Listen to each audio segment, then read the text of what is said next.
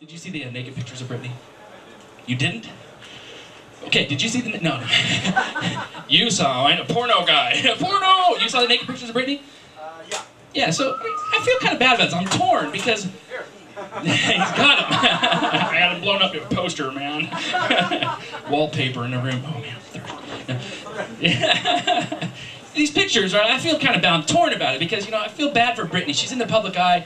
They're snapping off pictures. Poor girl's going commando, and every red-blooded American should be able to red-blooded American woman should be able to go commando when she wants. Anybody going commando tonight? Women? Women?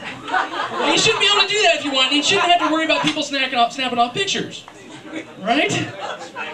So I'm feeling bad, so bad about this for Britney, but I had to go look at the pictures. I had to go out to the internet and find the pictures. Google Britney, right? or Yahoo Britney. And uh,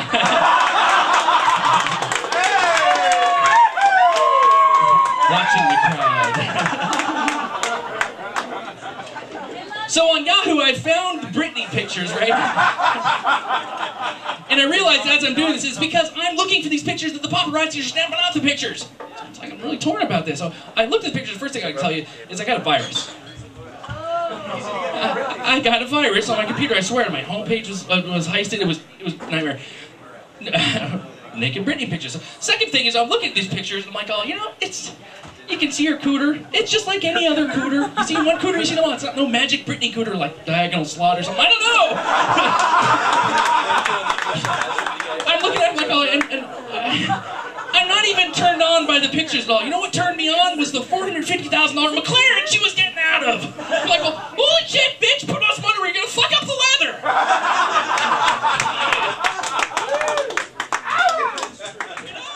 I gotta.